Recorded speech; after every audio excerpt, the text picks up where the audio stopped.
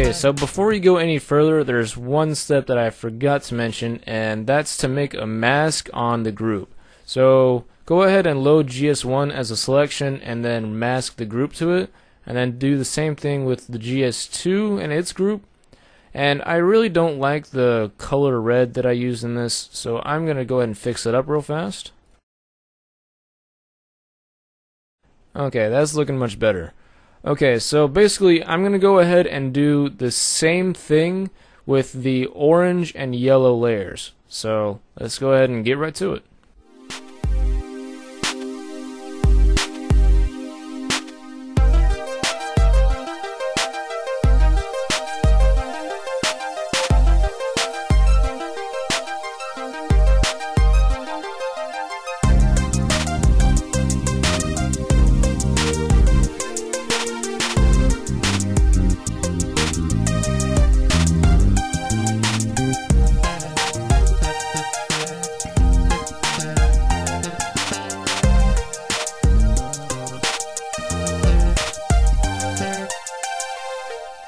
Okay, so assuming you've got a good mixture of red, orange, and yellow colors, let's go ahead and turn off our GS1 layer.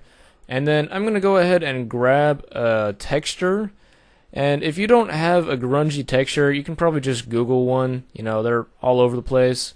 So when you find a good texture that you like, go ahead and drag it on into your document right here. And make sure it's actually in the group, not outside of it. And I'm going to change the size of this to fit just a little bit better. And that's looking okay right there. And I'm just going to go ahead and change the blend mode to overlay. And then bring up the levels panel and bring the blacks in just past the, the curve right here. And bring the whites in just a little past the curve right there. And we'll do a little bit of before and after. And maybe a little bit too bright. And that looks pretty good to me. So I'm going to go ahead and hit OK. And then I'm just going to go ahead and do the same process with the blue. So I'm going to head over to blue and choose a slightly off color blue right here. Hit OK. And we're just going to go ahead and try out the same process with the blues. Make sure you leave some open spaces. Alright, let's go.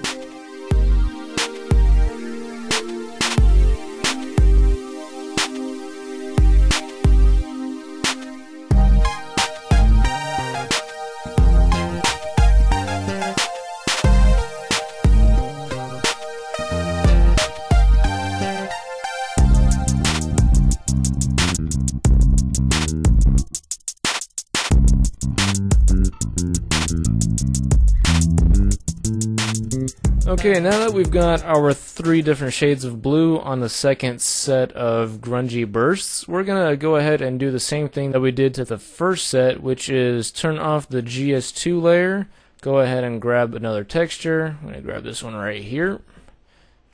Oops, wrong one. Click and drag it right there. Let's go ahead and resize it.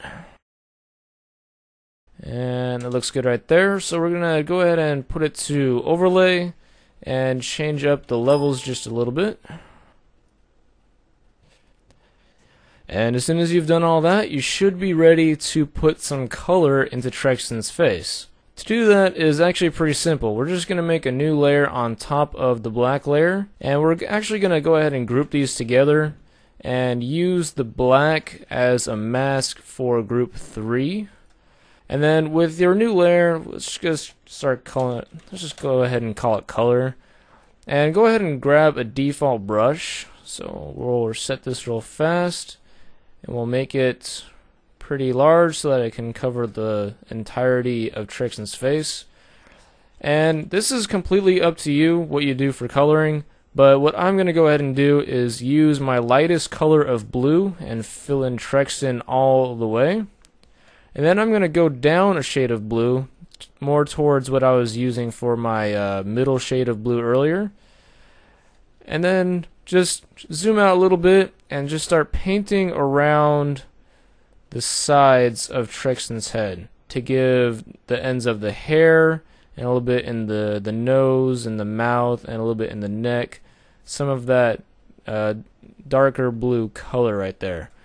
And then go ahead and knock the the shade of blue down again and then put that shade of blue more towards the mouth and the front of the face and maybe a little bit more towards the hair. And once you're proud of that, go ahead and bring up yet another texture. I'm actually going to go back to this one right here. I'm going to click and drag it over here. Oops, once again, I went to the wrong tab. And I'm going to resize it like we have before. But this time, instead of putting it to overlay, we're going to go ahead and change the blend mode to linear light. And then I'm going to move this right about there looks fine. And I'm going to change up the levels just a little bit here. And maybe not that much. And that way we get the whites to pop out just a little bit more. And one option that you can take if you want to make this look a little bit more grungy is to go to the masks of the groups and then swap over to the dry media brushes. And then this brush right here is actually very handy when it comes to making grunge uh, textures and whatnot, or grungy edges. You basically just have to go close to the edge, click, drag just a smudge, and it will start making a grungy look to it. But that's completely up to you. I'm actually not going to take the time to go ahead and do that in this tutorial. So you guys should have the general idea. If you guys feel like adding in the vignette that you saw in this demonstration right here, what you're going to want to do is go up and make a new layer. We're just going to call it Vin for vignette. And we're going to fill it up with black.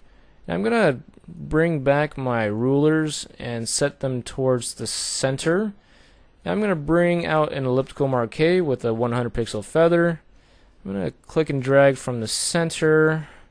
I'm going to make it about yay big. And I'm going to go ahead and mask the vignette and invert it and I'm going to put down the opacity to about 80% or so and you should be ready to go. But I'm just going to go ahead and delete this real fast. Delete the vignette. And there we go. Okay, so I'm hoping you guys were able to follow along with this tutorial pretty well. If not, then, you know, we'll be glad to help you guys out as much as we can. So if you have any requests or questions, go ahead and leave them in the comments section below or send us a message. Thanks for watching guys, we'll see you next time.